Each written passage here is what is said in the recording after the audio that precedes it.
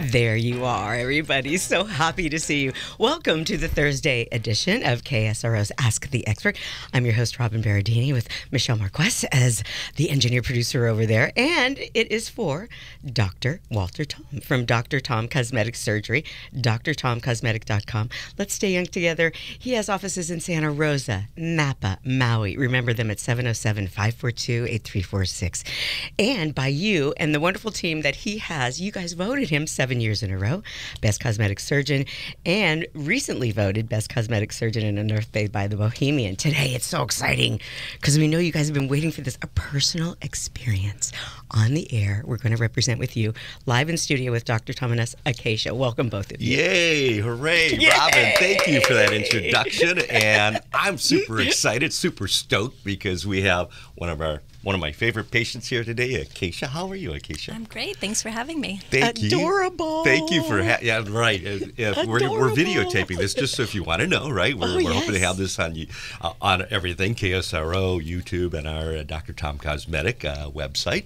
Uh, and um, it's we're, g- I'm going to dub it the Beauty and the Beast. Oh, come on. Give me a but break. Give me a break. But I'm Come so on, brother. happy to have Acacia here uh, to just sort of share her experience. Robin, um, Acacia has been, uh, we've been, uh, we have had a uh, professional relationship now for two years. Have I you? And But I'm going to let you kind of lead the way Well, and I'm get to just- know Acacia. I would love that because Acacia, number one, adorable, and thank you for being brave enough to be in here with all of us. We appreciate that and sharing your experience. Where are you from? I'm from Humboldt originally. Are you? Yeah, Are you? my my parents met in Chicago. Did They they? had had enough of the city. They um, decided to. Well, my dad had been homesteading in California for a couple years. Nice. Went back to Chicago and met my mom and convinced her to come back with him. And it didn't take much convincing for her to leave Chicago winters behind. I think Dr. Tom may have something in common with you as far as you're from, from Detroit. the Midwest, my Yeah. grandparents lived in Chicago, so Oh, maybe nice. that's why I like Acacia so much. She's a Midwest girl. There I like go. Yeah. So did you grow up there in Humboldt? I did. You Yeah, did? I um, spent the majority of my time there. I moved to Santa Rosa to go to dental hygiene school, Ah. and I've also, you know, wanted to explore esthetician work and Really? medical assisting work. So I love anything to do with the head and neck region and cosmetics and all that fun stuff. So, yeah. Well, as we get into kind of understanding who you are and explaining your uh, patient experience with Dr. Tom, um, may we ask how old you are? Is that fair? 42. Okay, great. That's fair because you know um, we span the globe here. I mean, you, Dr. Tom, you you go from demographic to demographic to demographic. Absolutely. Right, and right, right. It, it, I just, you saw me smirking a little bit because she's Yeah, my kid's age. Okay. you But I love- never know it. Except she listens to me versus my kids. Okay, she actually. You thank you for listening to me.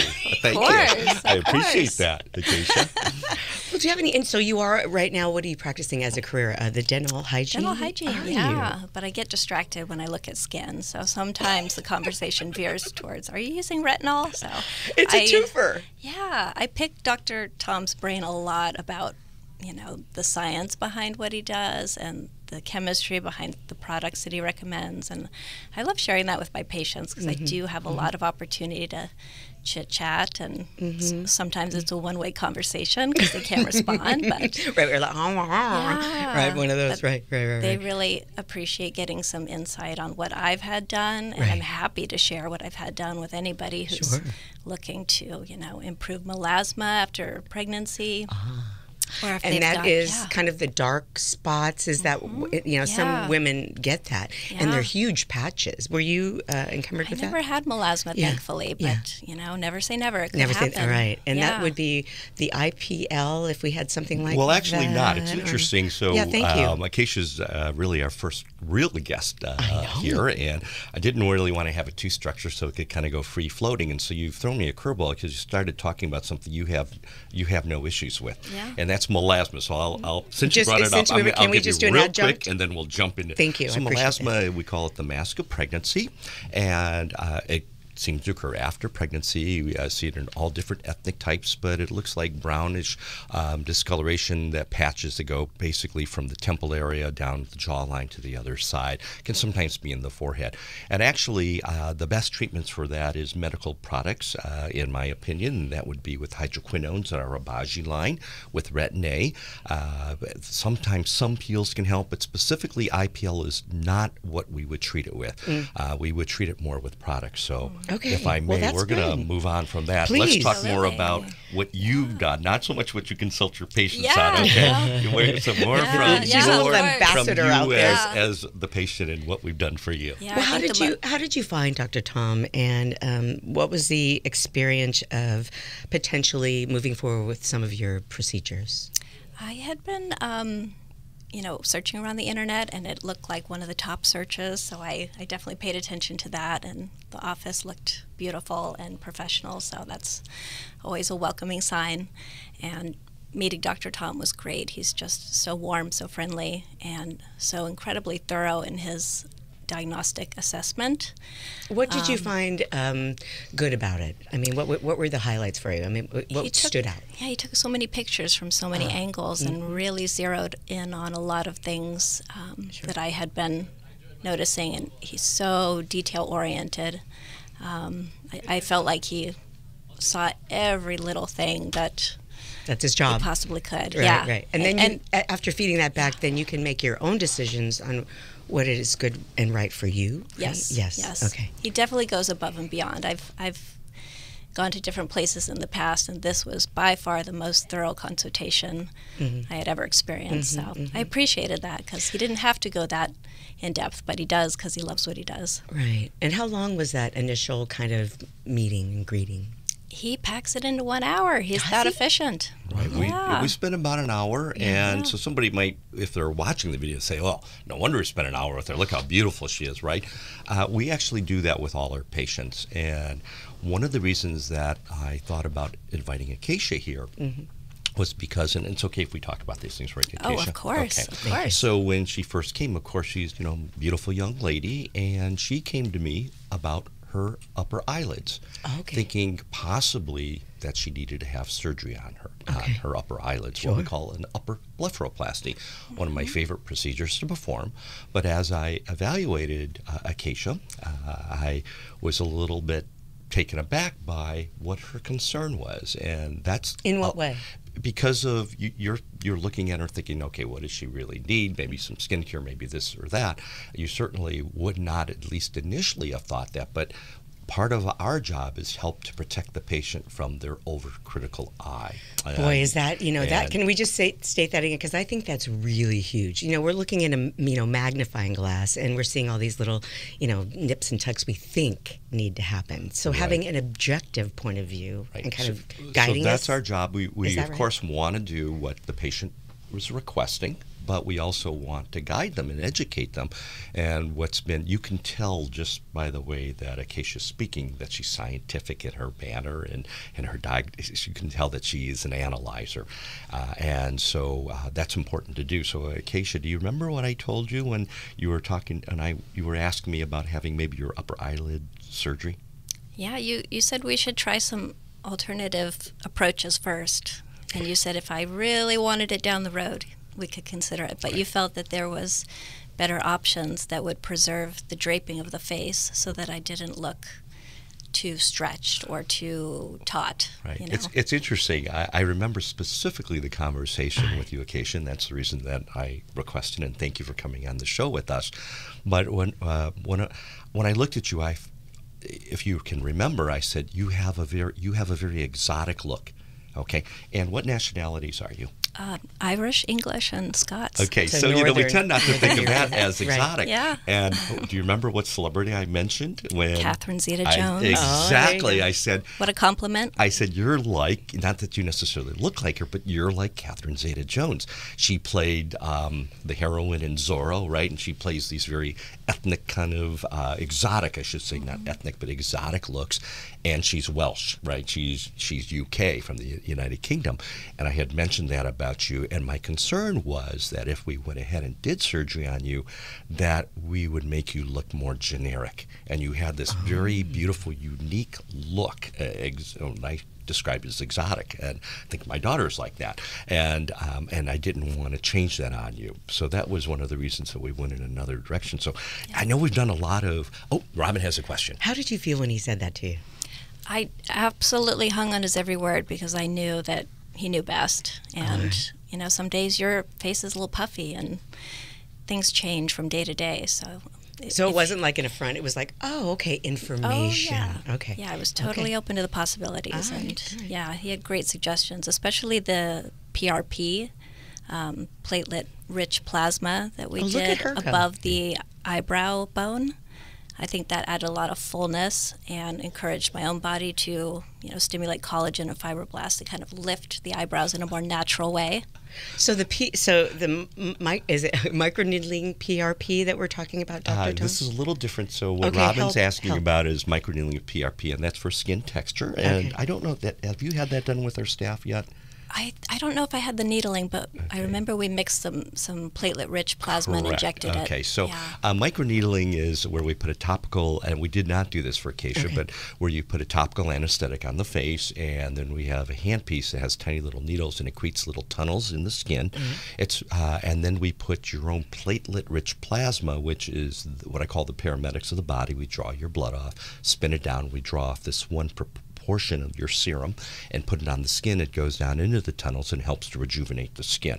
And uh, microneedling with PRP or PRF, which is the activated form, platelet-rich fibrin, actually helps with smooth uh, smoothing the text smoothing out Smoothening is a smoothening- term. It's a smoothing medical term. out the texture of the skin.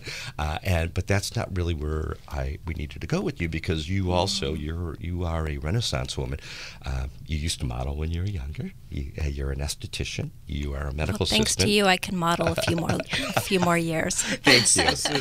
and also, you are a dental hygienist, so you know, I know that you're you're great at all of those. The what Acacia had come to see me for were her eyes, and so uh, we talked about in previous shows, Robin, about the eyes being the windows to the soul, and then I talked to people about your eyes being a window, Acacia, and I don't know if you remember us having that conversation. So um, the, the concern that she had was the blinds coming down from above and feeling like maybe it was puffy or, lowering and, and not making her eyes as bright. So one of the first things we had talked about uh, was maybe a little Botox or Dysport to get in between the eyes and on the side of the eyes to relax the muscles around the eye to open up your eyes more. Uh, and again, wanting to keep that exotic, very unique, beautiful look that you have, not mm-hmm. making you look generic. Okay, generic pretty. We wanted you to maintain who you were. So that's what we did. And then um, I had explained to you that we can either use filler or we can use the PRP or PRF, if you described, and where we place it underneath the eyebrow. And, and think about it as if, for those who are at home and listening, if you kind of just grab your eyebrow on the side and you just pull it forward, Okay. meaning like you're adding some volume there, pull it forward, your Okay. eyelid pulls Goes up. up. And that's really what it all we needed for Acacia was just a few millimeters of change. So you liked that PRF gel, and then I think we also put some underneath your eyes, correct? Yeah, we did. It really helped with the hollowness that I was getting underneath my eyes. I just oh. tend to lose weight quickly and always have a kind of hollowed out area there, and it really filled it up. And I feel like it's still very full. You know, a year later. So it's like the gift that keeps on giving, so to speak. Is that what you're noticing? Yeah, it stimulates Acacia? your body to you know rejuvenate itself and produce more collagen, and just brings awareness to that part of the body. It gets it to Wake up. wake up and More collagen yeah. deposition there. And um, Michelle uh, Marquez, who's a little under the weather, so she's not talking on mic today, but she w- and I were looking at each other, and she was kind of smirking at myself as Acacia's talking about, you know, the under eye hollow. And I'm thinking, Mm-hmm. mine looked like the Grand Canyon compared to hers. So maybe I don't want this video to go on YouTube. I think I might, I think You're I might so pull that one off here. Is it the, like But- the you know the cobbler and the cobbler's kids type yeah, of deal? I, you know I what don't I mean? know. She looks fantastic. She does. But I, again, what you see, um, Acacia, because this is a passion of yours, beauty is a passion of yours, and you're looking at that, and, and as you know, part of my job is to keep you from being too critical of yourself. Having said that, it's what's great because you're doing things a, what some people might say is a little early like what does she need and and people might say that Right. is that by stepping in now it's important to you your self-image is important to you that doing these little tweaks these are little tweaks we've done nothing surgical at all on you over a two-year period of time and we've helped to soften your eyes open them up more she has beautiful eyes and Gorgeous. all of this is done non-surgically Were you surprised? Were you surprised when he offered these um, possible other suggestions or considerations with what you'd gone in thinking you wanted eyelid surgery? That anything could possibly be done? You know, I just knew he had access to the best of the best, and I was excited to see what he was going to recommend. And I knew it would be great. Mhm. They do great work, and I wholeheartedly trust, you know, his vision. And I think I said that to you. I, on my 40th birthday, I said, I just want to see your vision. Go ahead, I'm your canvas, you know. Guinea bunny. Right. It was really. Yeah. It's actually that's really nice, and it's It a two-way nice. street. It's not. It's not the old days where the doctor would just tell you what to do. You're getting input, but we also have to fight from uh, patients who sort of get their Google MD and they, you know, think, oh, this is what I need. Because I will tell you, going through medical school, every disease that I studied, I thought I had. Right. Oh, sure. So you, That it, it really is. You have to be careful with that. Um, as we're, I can't believe we're already halfway through our show here, Acacia. But of the treatments that we have done for you, you mentioned the PRF or the PRP around the eyes, which help to open up your eyes uh, and to avoid surgery for you in terms of an upper eyelid surgery. What other treatments have we done for you that you kind of stand out and you say, this really made a difference for me? Well, you always um, were great about suggesting filling the temple area, which is a really forgotten spot. You know, I, I think we, we tend to say just fill up my cheeks, fill up my lips, Mm. but we forget that the, the whole face needs to look balanced. Okay. And if you're not filling in hollowed areas like the temples, you know, you're you're very full in the mid range of the face, and then Mm. you have this hollowed, scalloped kind of look, and it On the side of the eyes. yeah. Okay. So these right. little spots that you suggested filling out gave the overall impression of a more rounded, youthful look instead of a more extreme, angular kind of shape. I would say thank you for saying that and, and seeing that vision, um, Acacia. So Acacia, to describe her, is, is slender. Okay, she's slender and she's also. Sorry, Acacia, you're getting older. You're She is not. Stop that. How old are you? Say 42? Thanks to you, I'm reversing in okay, age. Okay, you're older. So we know we lose volume in our face, and that happens. And one of the areas is in the temple area. Uh, and because you're slender, uh, uh, then also that accentuates that. So you get hollowed in the temple area. And for those who are listening, uh, I'll- sometimes I'll have patients in a funny way. They'll say, "Yeah, I look like Skeletor." They'll they'll make a comment of how they look skeletal. And even when you're young like you are, Acacia, even when you're young like you, if we can make you look healthy, that translates into vibrant, more youthful, more attractive. And so even at a young age, if we think about what can I do to make myself look healthy, that really makes a big difference. So you've Right. noticed a difference. What did we um, inject in that temple area? I know we've done a couple of different things for you. Uh, as new products come out, new technologies, what stands out for you? Boy, to remember what filler we placed in the temples, was it Juvederm? Okay, so uh, a filler, that's not so much the brand name. Oh, but, uh, So we, okay. we, we placed filler in there Yeah. initially, a little bit of filler. Uh, and then anything else that we did in that area? Um, well, we placed the Italian threads. That was kind of in that area, Oh, but a different procedure. tell. Right. So we had exactly. So um, so Acacia also uh, came in and we did some threads. Okay, so it's not a facelift, but it is a pulling up of the skin, and and especially when you're younger and you're just starting to see these changes, you're a really great candidate for that. Okay, if you if you like my age and you have a really heavy jowls, then surgery is really going to be the way to go in terms of what you need. You, know, you you need a facelift. We're happy to make that referral. We don't do them in the office. We we kind of specialize more in the non-invasive. Uh, but one of the things uh, that you didn't mention was we used Renuva or the uh, fat, the the fat, what I call fat, Fat off the shelf, shelf? which is Okay. the uh, it's cadaver fat, but basically it's fat that we take. It's the matrix which holds fat injected into the body, and what happens is your body kind of breaks away at this this uh, matrix over time, but it, the matrix stimulates your own stem cells to place your own fat into this matrix. Okay, do you remember that?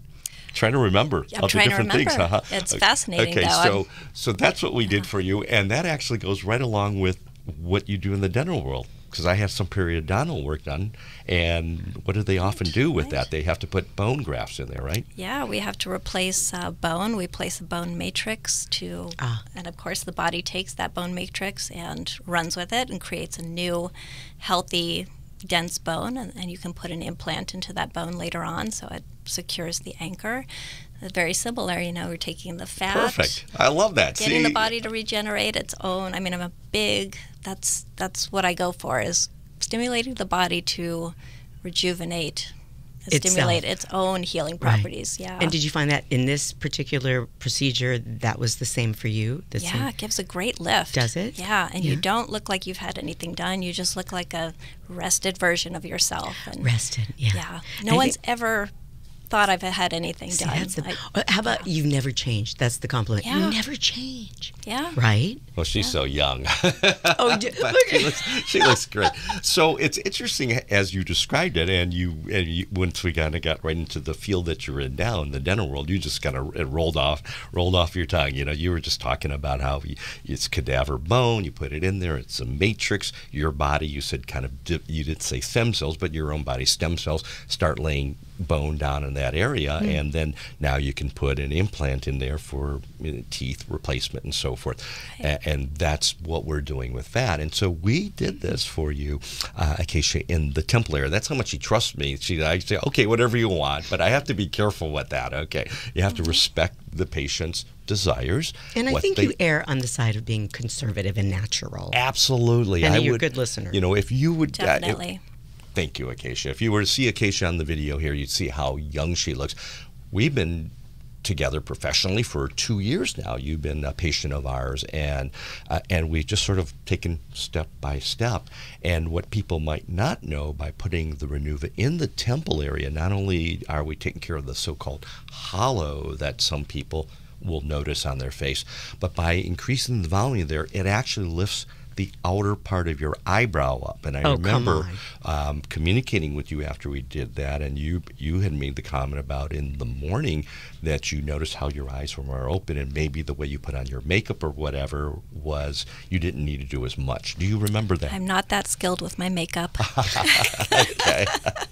I don't believe a word of it. and not only filling the temple area uh, lifts up the eyebrow area, but it actually lifts up the face. Where the face is a unit together, Okay. uh, and every part is inter- interdependent upon it. So, what else did we do for you that you kind of stands out for you in terms of kind of giving you that wow? I love to geek out over your lasers, so I've I've had some IPL treatments to get rid of you know sun damage from all those summers. Oh. and uh, it was quite amazing when I did my forearms. Um, Oh, my left side, where that's my driver's side, Right, obviously, sure, it sure. really reacted to the laser, and you could just Oh. see the, the sun damage come right to the surface. Wow. And within two weeks, you know, it was sloughing away, and you have this dewy, fresh, supple, light pink skin again, and it's just awesome to see. I mean, the Mm-hmm. technology we have available is so amazing. You know, it's truly amazing. And then reminding ourselves to put the sunscreen on. And Dr. Tom, you have some uh, compound products uh, in that area that you also have available on the uh, drtomcosmetic.com website, which is great and, and important to remember too. Right. Uh, and it's interesting. I'm going to just take us uh, along that same pathway of what you were talking about, Acacia, because uh, somebody might look at, uh, at Acacia. We, we know we're doing our show today talking about our patient experience, and it's more procedure oriented like, oh, you did, you know, what did you have done? Oh, you had threads, or oh, you had the cadaver fat, or you had filler, you had the PRF or the PRP around the eyes. Acacia took us to the skin. I just had a young lady who's in her 30s uh, who I had uh, done some injections on, and I just sat down with her for a little bit. And Bridie was who's filming us, who's our medical assistant right now. Um, she uh, remembers this conversation. I said, you know, I want to just talk to you about a few things. I want to talk about your skin. And when I'm talking to you, I want you to know the things I'm going to recommend to you are the least expensive things that we do. Okay. And so we're going to talk about sun care, you know, skin sun Skincare. protection, Mm-hmm. excuse me, that Robin mentioned. Uh, talk about the different products that we carry. But then I was talking to her about what do you do for your skin?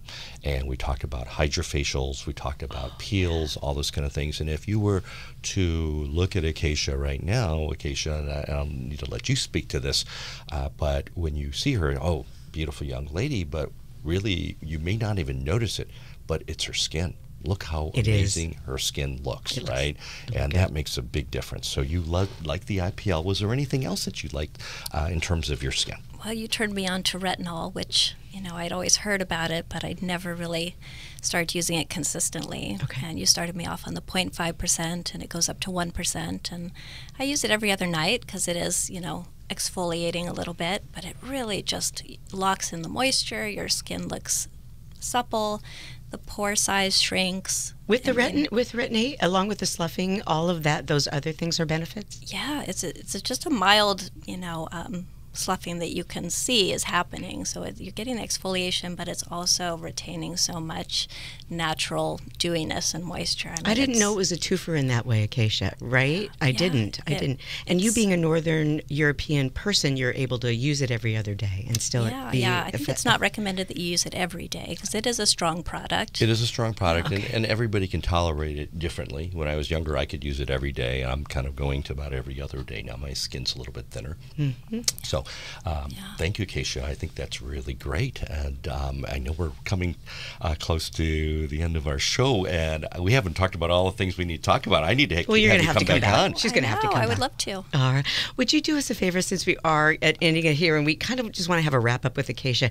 Acacia is a personal experience at uh, the Dr. Tom Cosmetic Surgery. If you could get a little rundown, that'd be great. Sure. So um, what I'm going to say is do what Acacia does. Okay, so she comes, she studies, she comes in, and she listens, and she realizes that we're a team.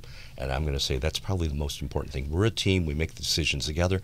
Take our time. Go step by step. I like it. I like it. If you're interested in getting in and getting your own consultation, remember the Dr. Tom Cosmetic Surgery 707 542 uh, 8346 and drtomcosmetic.com, Facebook, Instagram. Always super fun. Acacia, thank you so much for being here. Dr. Thank you for Tom, having me. always a pleasure. Thank Top you. of the hour news is next, and thank you, Michelle Marquez.